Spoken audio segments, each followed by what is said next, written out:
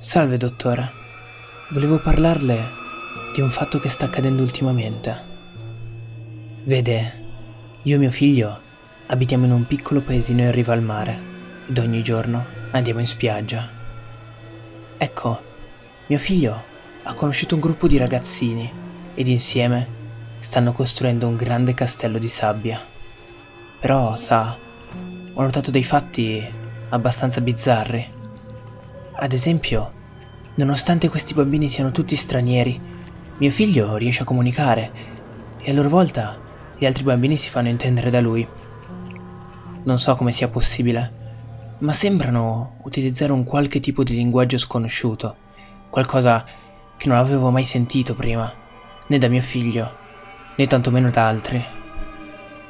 Inoltre, sembrano davvero troppo presi da questa loro creazione quasi fosse un qualche tipo di ossessione. Spesso i ragazzi non mangiano nemmeno, rientrano con ematomi e scottature provocate dal sole battente e quando mio figlio torna a casa inizia a raccontarmi dei progressi del compito. Sì, così lo chiama, come se fosse un suo dovere.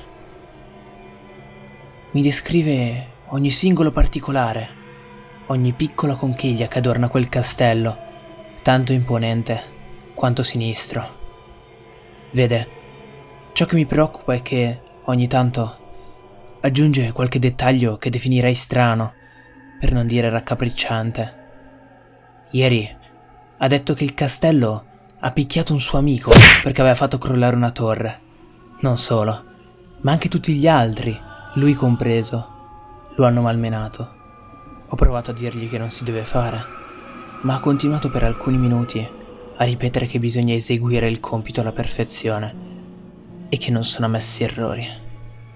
Ecco perché sono qui. Temo...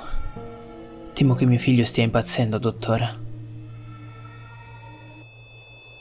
Ora mi scusi, ma si è fatto tardi.